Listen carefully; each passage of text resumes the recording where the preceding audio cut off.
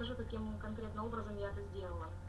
А, Значит, а, хочу рассказать о том, каким образом я пришла к тому, что я не хочу э, в своей жизни работать на себя.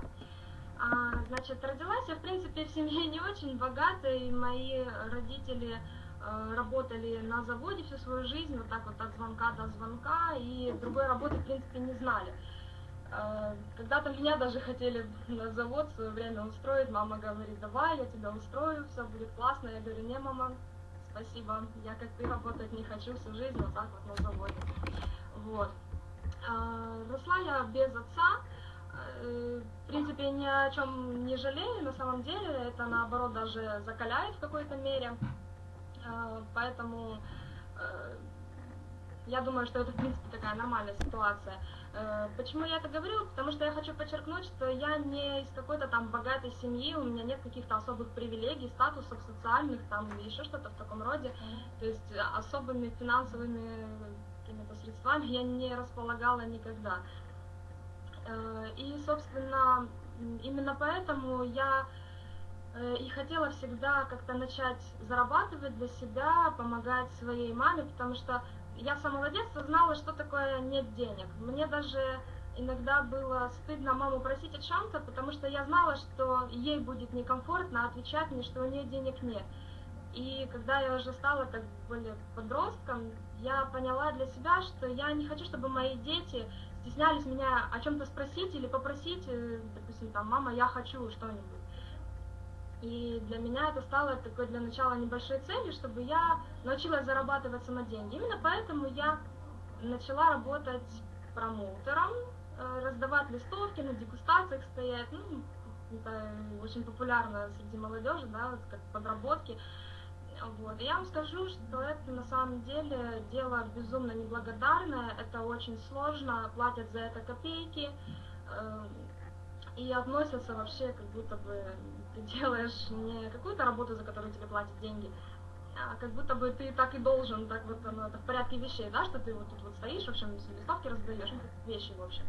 У меня был такой случай, когда я раздавала листовки вот, от магазина одного, эм, и пошел дождь, причем сильный дождь пошел. И я стала в переходе, думаю, укроюсь хотя бы в переходе от дождя, чтобы, потому что листовки размокают, их невозможно держать, самой холодно, ну, нормально, да. Я, и, в общем, ко мне подошел охранник из этого перехода и сказал, здесь листовки раздавать нельзя, уходи.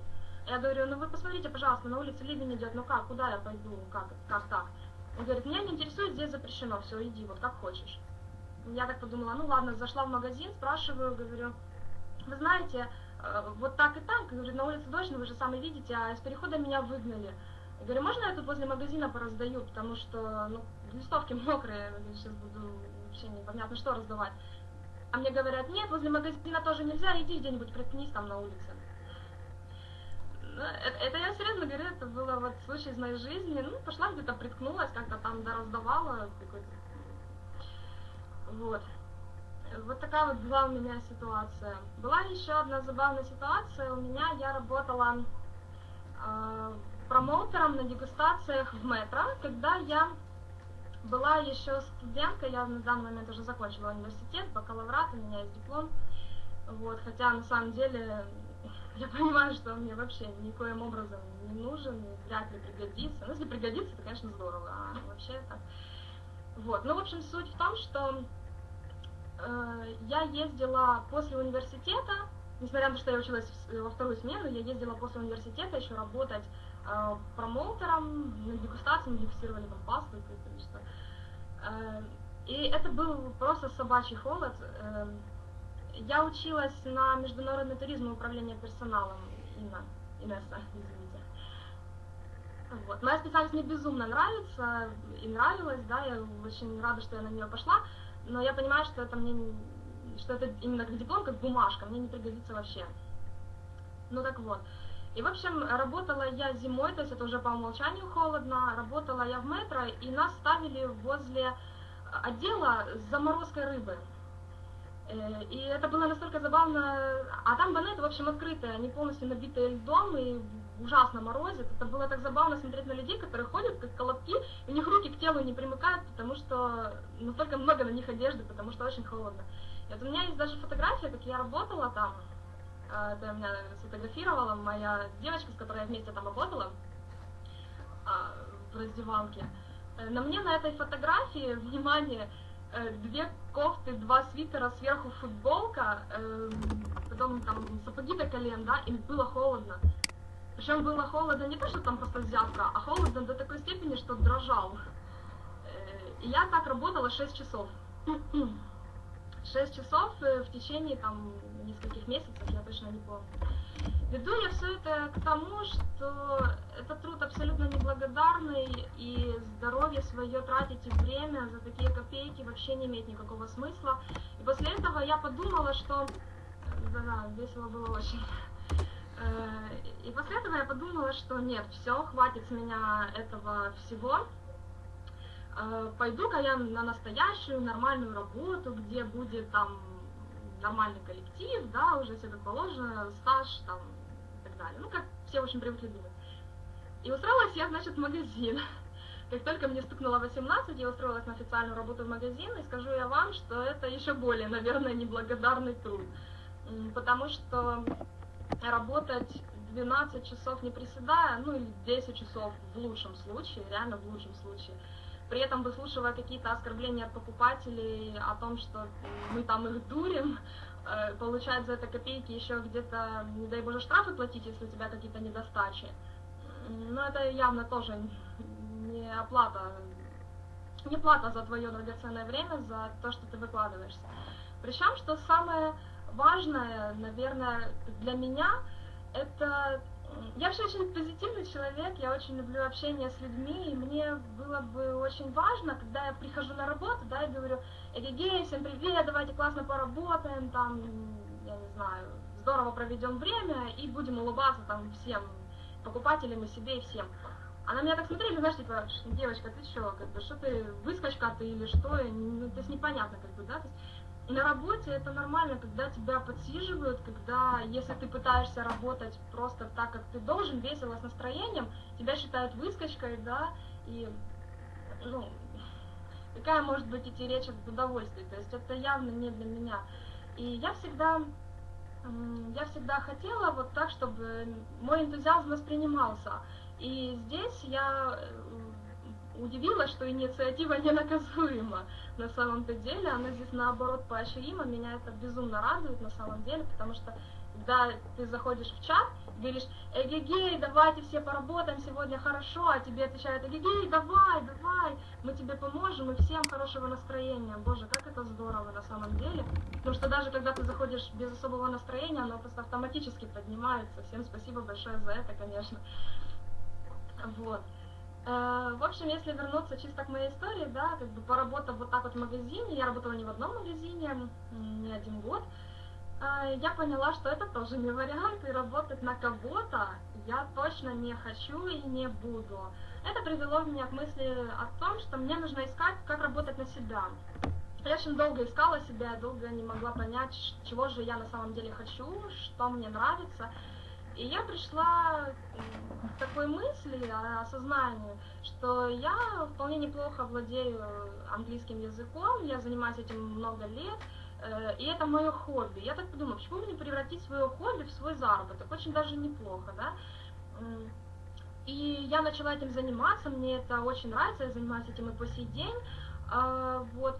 Но э, чем здесь камень преткновения? Он в том, что ты все равно зависишь от людей. Ты. У тебя нет как бы работодателя, ты сам себе хозяин. Это, конечно же, безусловно плюс.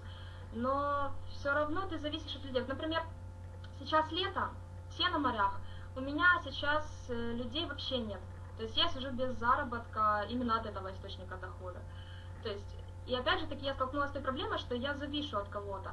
Э, пиком мыслей на этот счет стало то, что э, у меня скоро будет свадьба, и э, те затраты, которые я считала, скажем так, та сумма, в которую я считала, что можно вложиться в организацию свадьбы, оказалась ну, вообще недостаточно. Не то, что там чуть-чуть, но и вообще недостаточно, категорически. И я говорю Стасу, ну, это муж мой будущий, я говорю, слушай, может быть, я устроюсь там на работу снова, мне конечно, спасибо большое за поздравление, мне это, конечно, вообще не прельщало, да, там снова куда-то идти, работать за копейки, неблагодарный труд. Я говорю, может, я куда-то устроюсь, ну, потому что деньги нужны, что делать-то? А он мне сказал, нет, сиди дома, развивай свой бизнес, там, учись, э, что я ему на самом деле безумно благодарна, потому что для меня это очень важно. И, ну, как бы, несмотря на то, что я осталась сидеть дома, да, деньги-то все равно не идут, я все равно начала искать подработку через интернет, э, не знаю, честно, я не помню вообще, каким образом. Я забрела на страничку своего спонсора, вообще какие-то э, через Китай, наверное, как-то я забрела на эту страничку, и увидела у меня на стенке сообщение, что там предлагаю работать, потому что это было написано эм, редактирование текстов, э, перепечатка этих текстов, отправление их людям, ну что-то в таком роде. А, вот, и там поставьте плюсик, да. Ну, я поставила плюсик в комментариях, подумала, ну, что мне там этот текст отредактировать стоит, да, если я все равно ежедневно, да, сижу за компьютером и какое-то время трачу на интернет, там, на игры, еще там на что-то, почему бы и нет. Вот. Кстати, по поводу там э, какой-то подработки в интернете, рерайтеры, сейчас это очень популярная тема. Э, когда-то тоже думала ее начать развивать, но поняла, что это тоже не вариант, потому что э, работа за копейки, опять же таки, требует определенного навыка, причем немалого навыка. Некоторые люди годами оттачивают это мастерство, и то не очень получается. Вот, поэтому я поняла, что этот вариант тоже не для меня. Хотя я попробовала вроде как. Э, в общем, э, суть в том, что ответили мне на этот плюсик далеко не сразу. Я так смотрю, день-два не отвечают, думаю, ну ладно, не отвечаю, так и не отвечаю. А потом ответили, мне написали, скинули запись вебинара, сказали, добавляйте скайп там, для быстрой связи. Я посмотрела вебинар, до, пол, до середины, там, первые 20 минут, так смотрю, думаю, о, о, неплохо, такая мотивация, все классно. А потом я услышала слово Oriflame. И тут у меня пошла нотка такого сарказма какого-то, я так думаю, а, ну понятно. Почему такая у меня реакция была, объясняю. Потому что я уже не раз работала в косметических компаниях, минимум три компании, в которых я была как консультант, где я работала по старинке. Ну, то есть с каталогами, да, там предлагать, куда-то что-то ходить, там спрашивать э, у людей, что вам надо, не надо, ну и так далее. Вот. Но тем не менее, я досмотрела этот вебинар до конца, поняла, что тут что-то, наверное, в чем-то отличается. Думаю, ну ладно, господи, за спрос денег не берут, добавлю я этого, этого человека в контакт, ой, боже, в контакт, в скайп, э, и пускай он там расскажет, может, что новое узнаю, мало ли. Какая разница, все равно за, интер... Э, за компьютером сижу. Добавила я ее, вот, э, с таким сарказмом, вы себе не представляете, с какими сомнениями, с каким скептицизмом я писала ей эти вопросы всякие, особенно когда она мне сказала, что там есть определенные условия, чтобы получить свои деньги, да, там 150 баллов делать, э, или там паспортные данные оставлять, боже, как я не хотела оставлять свои паспортные данные, думаю, что, что, что это такое вообще, э, вот но тем не менее она как бы отвечала мне, помогала мне, и я подумала, ну ладно, что уж там зарегистрируюсь, посмотрю, подумаю, может быть действительно из этого что-то получится. Э, и где-то после регистрации я 4 дня просто безвылазно с утра до вечера сидела, пересматривала записи вебинаров, изучала материалы обучающие там и так далее. Э, я вам говорю, у меня просто такой хаос был в голове, это просто не передать. Мне это снилось, хотя я и заснуть после такого не могла очень длительное время, какой-то период. Вот. И на самом деле я просто безумно благодарна своему спонсору и Ире Балаклеевой за то, что она меня поддерживала и поддерживает до сих пор, помогает мне. И спасибо огромное, нижайший поклон. И вообще спасибо всем, кто есть в чатах, кто поддерживает, помогает. И Марине Брикайло, конечно же, тоже, потому что, ну, боже, ну я не знаю, тут, по-моему, комментарии никакие не нужны, просто огромное спасибо за то, что вы поддерживаете, помогаете и э, как-то пропускаете мимо ушей скептицизм, да, в самом начале. вот. Ну, в общем, э, все это было очень интересно, да, как бы при использовании всего того, что я уже давно знаю, э, каких-то основ бизнеса, фильм «Секрет» там и так далее, да, это все очень интересно и здорово, это первое, что меня зацепило. Второе, что меня зацепило, это то, что нужно работать только через интернет, что не нужно бегать никуда с каталогами, это для меня было вообще что-то новое, я так подумала, ух ты, ну, что попробую, вот. Но что меня именно зажгло к работе, да, есть, что я поняла в нашей работе? В нашей работе главное это зажечься, зажечься, найти себе какую-то цель, какую-то мечту, и вот именно тогда пойдет, именно тогда пойдет, найдутся все возможности, все найдется, что угодно найдется, но, ну, в общем, понимаете, о чем я говорю. И этой целью стала для меня Анталия. Анталия, в общем, конференция, да, которая будет в следующем году, э, летом, а, мне про нее мой спонсор сказала так, что ну, как бы, ну, ты еще можешь успеть, если там поработаешь. Я так подумала, я так говорю, а что это расскажите. Она рассказала, я посмотрела, и я узнала условия, как туда попасть, и что там будет вообще в течение всей этой недели. И для меня это было вот все, вот как вот тут, знаете, как вот переклинило, что ли. Потому что Э, я вообще очень люблю изучать все, что касается нашего мира, наших стран, э, культур и так далее. И для меня всегда это было интересно, всегда мечтала путешествовать, и какой-то период, э, ну как, не какой-то период, да, а в принципе всю мою жизнь для меня это была недостижимая мечта, потому что, как я уже говорила, семья у меня не богатая, и то, что меня мама возила раз на море, благо мы живем недалеко от моря, да, там, мы раз в год ездили, каждый год, это просто и нижайший поклон за то, что она где-то находила вообще деньги на эти поездки. Вот. И когда я узнала, что просто выполняя свою работу, можно вот так вот поехать э, за границу, еще и получить за это деньги, там какое-то вознаграждение, признание, все шикарно, классно, я загорелась. Я загорелась, я всегда мечтала путешествовать. Для меня, э, ну, есть мечта, да, вот я подобрала, сделала фотографии, здесь страны, в которых я хочу побывать, да, среди них там Япония, Франция, Австралия, Майорка, Италия, вот это такой прямоугольничек плоский, да, и Аляска вну, э, вправо, справа внизу.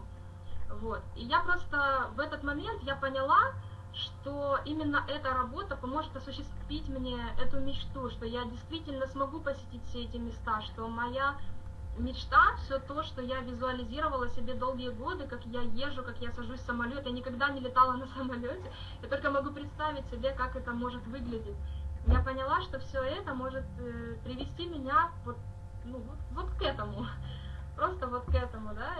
Это, просто что-то невероятное, по крайней мере, лично для меня в моей голове, может, для кого-то есть какие-то другие там ценности, не спорю, да. Но вот это стало именно моим таким факелом, моим маячком, то, что меня зажгло. А, на самом деле, когда я пришла в проект, я вообще не ценила того, что здесь бесплатное обучение. Ну, бесплатное обучение, это бесплатное обучение. Знаете, даже как-то не задумалась, как, как, как будто бы какая-то дежурная фраза, э, ни к чему не обязывающая ни меня, ни вас.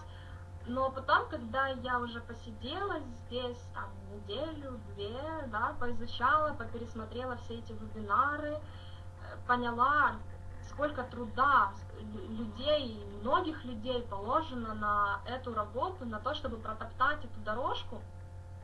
Э, ну, это, это просто поначалу, да, сначала не верилось, а потом в голове не укладывалось. Вот как-то так, поэтапно произошло. Поэтому э, я вот хочу обратиться сейчас к новичкам, если таковые имеются на вебинаре. Э, и хочу вам сказать, что, пожалуйста, ради Бога, цените этот момент.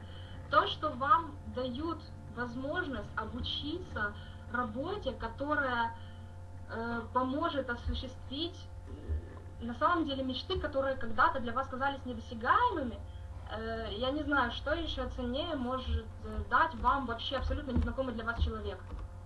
А, вы работаете в интернете, э, где миллион людей. Да, и среди этих миллионов людей есть очень неприятные люди, я с ними уже успела посталкиваться, пообщаться. Есть люди, которые считают, что ты вообще не делаешь одолжение. Я им пишу, говорю, здравствуйте, там туда-сюда. мне пишут, ну, и чё? Ну, давай, расскажи. Как будто я тут пришла поплясать перед вами, да, то есть разные моменты бывают. Но на самом деле среди таких же людей есть и хорошие, ответственные люди, которые действительно хотят найти что-то особенное в своей жизни. Ну вот как все мы с вами, да, которые сейчас здесь присутствуют, мы же каким-то образом сюда попали, правильно, ради каких-то целей. Они у всех есть. То есть э, нигде нет бесплатного обучения, ну нигде. Ни в школе, ни в университете, даже те же банальные тренинги, да, есть тренинги, за которые надо выкладывать просто бешеные деньги, реально бешеные деньги. И то не факт, что эти тренинги вам помогут, правда? А здесь вам дается это бесплатно, просто берешь и учишь, и, и все. То есть, и воплощаешь это в жизнь, да, естественно. Больше ничего от вас не требуется. Зажгите себе мечту, возьмите, выучите то, что вам дают, и используйте это, потому что это уже многих людей привело к тем целям, которых они давно вожделели, скажем так, да, а, приведет и вас, пожалуйста, только берите и делайте. Вот. Что еще хочу сказать э, по поводу проекта, то, что было лично важно для меня, это то, что здесь очень э, быстрый карьерный рост. Я вообще не встречала ни одного места, ни одного проекта, где бы был такой карьерный рост большой, причем еще тебе помогали. Я работала на работе в коллективе, причем в женском коллективе, я вам скажу, это страшная вещь, вот, женский коллектив. А, и на работе это нормально, если тебя там как-то за спиной обсуждают, поливают грязью, подсиживают или что-то в таком роде. Я уверена, что здесь такого нет. Э, потому что здесь тебя просто берут за ручку и ведут. Но если ты, конечно, как капризный ребенок, дергиваешь эту ручку и говоришь, типа, нет, я никуда не пойду, вот все. Вот не пойду я никуда. Ну, конечно, кто вас потянет там дальше, если вы вот стали на месте и все. А если вы поверите, да, и пойдете за людьми, которые уже достигли чего-то и учат вас, как этому достичь, я думаю, что это получится. Я уверена, что получится и, и у меня, и у моего мужа. Он уже подписан под меня, э, так что мы работаем вместе. Вот. И что самое классное, что э, это та самая работа, которую легко полюбить, потому что на самом деле а, она, она немногим отличается от обычной рутины, когда вы сидите за компьютером, да. Есть чудесная фраза, что найдите работу себе по душе, и вам не придется не работать ни одного дня в своей жизни. Вот э, я верю, что это именно та самая работа для многих из нас, если не для всех вообще. Вот. И для новичков, да, которые сейчас здесь присутствуют, э, я вам желаю, чтобы эта работа стала именно тем, э, что просто вот будет вам по душе, будет вам нравиться. А, далее, а, ну, в принципе, вот если что касается, да, моей истории в данном проекте, вот именно вот так вот я сюда и попала. А, сейчас я на 6%, хотя я здесь меньше месяца, все говорят, что это вроде как неплохой результат, э, но на самом деле я вам скажу, что я вот достигла не сама, я просто ничего бы этого у меня не получилось, если бы не мой муж, если бы не мой спонсор, Э, еще раз спасибо большое. Вот, если бы не все эти люди, которые помогают и поддерживают, да, потому что в сущности я с предыдущего каталога работала всего лишь неделю, потому что остальные две недели от каталога я просто сидела и учила. С утра до вечера сидела и учила, чтобы понять и разобраться в этом всем. И вот так вот получилось. Я просто безумно благодарна, что я прохожу сейчас квалификацию на эту Анталию. Я просто вообще не сплю вечерами и кручусь не знаю, куда себя деть от радости. Я уже просто вижу себя там, вижу себя там на сцене, как я вместе со всеми вами там провожу время, знакомлюсь. Это для меня очень-очень важно. вот. Ну и э, далее я хотела бы посоветовать, скажем так, э, не, несколько вещей. Прежде всего, я бы очень хотела посоветовать фильм «Мирный воин». Э, возможно, кто-то его не видел еще, да, не знает. Вот для тех, кто не знает, очень советую, посмотрите, потому что этот фильм, э, он, во-первых, основан на реальных событиях, он э, рассказывает о человеке, который э, стремился к своей жизни, в своей жизни, к определенной цели, и так уж получилось, что жизнь его сломала. Таким образом, смотрите в фильме анонс. Вот, но несмотря на это человек не сдался, он просто, когда все просто сказали, что ну ты все, да, на него закрыли глаза и сказали, что он мирный воин. На, на слайде есть картинка с названием. Видно, нет слайд? Наверное, видно. Э, вот. Ну, в общем, суть в том, что когда все сказали, что это да, это правда, фильм можно разобрать на цитаты. Э, если говорить по цитатам из этого фильма, то основная из них это то, что э, не бывает такого, что ничего не происходит. В мире всегда что-то происходит. Не бывает необыкновенных моментов, не бывает ничего необычного. Это, это можно применить даже к нашей работе, то есть, да, кто-то скажет, там, рутина, нужно сидеть каждый день писать людям, там, и так далее, да, но все равно вы же встречаете каждый день разных людей, и вполне возможно, что среди этих людей будут те люди, с которыми вы пойдете дальше, вот, а может быть, просто подружитесь, ну, всякое бывает, бывает безрезультативный день, ну, ничего страшного, идем дальше, то есть никогда не стоим на месте и помним, что не бывает необычных моментов, да. Еще чудесная фраза в этом фильме есть «выброси весь мусор из головы». Вот это вот, наверное, самое-самое важное и нужное для всех новичков. Я вам серьезно говорю. Этого мусора в головах у новичков, ну просто греби, не перегреби. Вы ж не обижайтесь, пожалуйста, на меня, новички. Я сама такой была, с таким же мусором в голове на самом деле просто слушайте своих наставников, своих спонсоров э, и выбрасывайте все свои сомнения, сопротивления какие-то, что это не мое, у меня нет времени. Поверьте, это все оправдание, это просто все оправдание. Если у человека есть цели, он чего-то хочет, у него не бывает обстоятельств, оправданий каких-то, не хватает времени там или еще не бывает такого. Это просто не бывает. Если вы хотите, вы просто берете и делаете и все, больше ничего не существует, вот не бывает никак по-другому. Вы либо делаете, либо не делаете. Понимаете? И вот этот фильм, вот, вот он именно об этом, то, что э, если у вас есть мечта, то вы преодолеете все. Для человека все возможно, это правда. Это не то, чтобы, да, там какая-то красивая цитата, это действительно так. Человек может все. Все, что человек может представить, он может осуществить. Вот. Так что всем настоятельно советую данный фильм. А, и я бы еще хотела рассказать вам одну притчу. А, возможно, кто-то знает, возможно, нет. Ну, так вот. А, значит, называется эта притча «Дерево желаний». Э, состоит она в том, один человек, путник, очень долго шел по пустыне, очень-очень долго шел, был полностью изнурен, и так долго шел, что дошел до рая. Э, рай в, и, в понятии индийской мифологии, в общем, в индийской какой-то концепции, да, это дерево.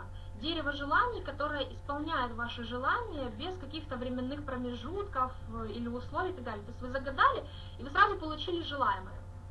Э, то есть, и, в общем, этот человек дошел до рая, сел под это дерево, и он был настолько утомлен, настолько голоден, что он подумал – вот бы мне сейчас покушать. И ниоткуда вообще так вот с воздуха, да, взялась еда. Э, еда шикарная, сытная, вкусная, свежая еда. И путник был настолько утомлен, что он даже не задумался о том, откуда она взялась, он просто взял и начал эту еду есть. Вот. И когда он насытился, он подумал, ох, как хорошо, боже, я наконец-то наелся, э, вот бы сейчас еще попить и перед ним появился кувшин с вином. А, чудесное вино, да, там очень вкусно. А, он налил себе этого вина и напился. А, ну, не в прямом смысле, да, ну понятно, жажду удалил, утолил. И потом, когда ему стало легче, он вот так вот сидит и думает, хм, наверное, здесь что-то не так. Это, наверное, как-то Э, злые духи или призраки играют со мной какую-то шутку. И перед ним появились эти призраки, вот такие вот ужасные, уродливые, в общем, такие призраки, каких он э, сам себе всегда представлял. Э, и он настолько их испугался, что подумал, о боже, наверное, сейчас они меня убьют. И они его убили. Э, суть э, данной притчи в том, что все наши желания, все наши мысли, все наши мечты, они материальны. И если вы мечтаете и думаете позитивно, то именно так в вашей жизни и будет происходить. Именно хорошие вещи будут происходить в вашей жизни, вы будете встречать хороших людей, ваши желания будут осуществимы, и у вас не будет никаких преград, чтобы добиться этих желаний. Но если вы загоняете сами себя в угол, если вы думаете, что ну, у меня ничего не получится, да, или вы чего-то боитесь, боитесь сделать первый шаг, э, так оно и будет.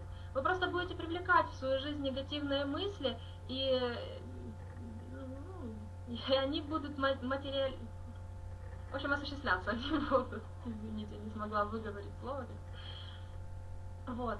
А я еще вижу такой смысл в данной притче, что надо бороться со своими внутренними страхами.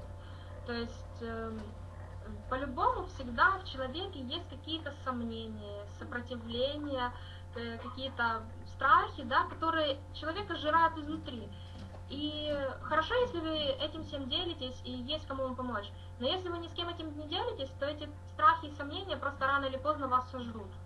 И вы так и останетесь э, просто в этом омуте каком-то депрессии или чего-то, ну не знаю, в общем, я думаю, вы поняли, к чему я веду.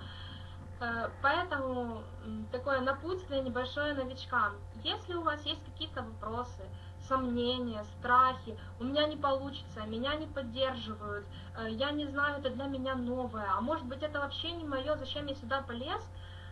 Во-первых, сами э, попытайтесь разобраться в своей голове. Вы же уже сюда попали, значит у вас были какие-то мысли до этого, которые вас сюда привели. А во-вторых, у вас всегда есть наставники, всегда есть чат, всегда есть какие-то лидеры, которые готовы вас поддержать, которые готовы дать вам напутствие, какую-то мотивацию, которые готовы подсказать, что вы, возможно, делаете не так, почему у вас это не получается. И поверьте, если вы услышите, не то чтобы просто послушайте, а именно услышите своих спонсоров, своих наставников, то у вас все получится. Потому что не бывает такого, чтобы человек, прикладывая какие-то усилия, ничего не получил. Если вы прикладываете хоть какие-то усилия, то вы всегда придете к своему результату рано или поздно. Знаете, как говорят, что не можешь бежать к своей мечте, иди к своей мечте. Если не можешь идти к своей мечте, ляг э, в направлении своей мечты и лежи в направлении. То есть вот именно так и нужно делать. Поэтому следующее, что я бы так больше, наверное, как-то быстро осталось. Завершение хотела бы сказать, что все в наших руках, поэтому их нельзя опускать. Не опускайте руки никогда, потому что если вы опустите их сегодня, поверьте, завтра легче не станет. Но если вы возьмете себя в руки и э, начнете действовать, как бы сложно не было, как бы там какие-то сомнения не поддерживают там родные или друзья, осмеивают или что-то еще, вы придете к какому-то результату через полгода, через год, и посмотрим, кто еще будет смеяться через эти полгода или год, правильно? Вот, и я бы еще хотела сказать очень важную вещь, что кто никуда не плывет, для тех не бывает попутного ветра. Это я веду к тому, что чтобы достичь чего-то, мало просто этого желать. Конечно же, визуализация, желания, какие-то мотивации самого себя – это все очень хорошо. Но если вы ничего не делаете для этого, у вас никогда ничего не будет. Потому что если вы сядете на кресло и будете думать, вот, я хочу Ламборджини, то у вас никогда не будет Ламборджини, если вы не поднимете свою пятую точку с этого самого кресла и не пойдете э, что-то и не сделаете, чтобы получить его, правильно? Э, то есть именно поэтому нужно все делать в комплексе. Нужно не бояться мечтать, нужно не бояться своих каких-то желаний, даже э, которые вам кажутся, может быть, даже недостижимыми. Я вам серьезно говорю, я никогда не думала, что у меня вот так вот с бухты-барахты появится через год возможность уехать за границу. Вообще, еще еще бесплатно. Ребята, такого не бывает. Ну, точнее, как бывает в нашем проекте, да, экспресс-карьера. Это самый настоящий путь успеха. Пользуйтесь этой возможностью, делайте все, что вам говорят, и не бойтесь. Не бойтесь ничего, потому что вас всегда поддержат поверьте, всегда поддержит. Главное, умейте, научитесь слушать. Научитесь слушать, и все у вас получится. Я очень рада, что я в свое время услышала своего спонсора. Честно, очень рада. Вот. Так что, в принципе, у меня на этом сегодня все. Если у вас есть какие-то вопросы ко мне, я с удовольствием на них отвечу, если они есть.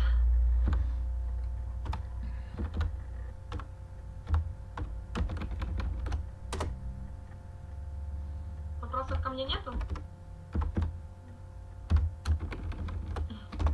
Спасибо большое вам всем за вашу поддержку, за вашу помощь. Будем, будем стараться подниматься по этой лестнице все вместе, потому что именно только так мы по ней можем э, подниматься, правильно? Есть чудесное, кстати, выражение, скажу, не помню, чья это цитата, что человек имеет право смотреть сверху, свысока на других людей только тогда, когда он помогает этим людям подняться. А у нас все всегда помогают друг другу подняться. Так что какими методами рекрутируете? А, Наталья, я рекрутирую на данный момент э, исключительно через э, социальную сеть ВКонтакте. А, Я вот буквально, я уже давно на самом деле собираюсь еще перелезть на бесплатные доски объявлений, но все никак не долезу, потому что меня вечно новички мои разрывают, и не успеваю просто до них добраться. Вот. Но я ВКонтакте охватываю достаточно широко, я там и на страничке, и друзья добавляю, и в группах пишу сообщения, ну, так, ищу возможности, потому что хочу. Так, ну я так понимаю, что вопросов ко мне больше нет. Спасибо всем большое, кто сегодня пришел послушать меня. Вот, по сути, еще зеленого такого новичка. Вот. Всем большое спасибо. Всем роста, и успеха и хорошего настроения. Всем пока.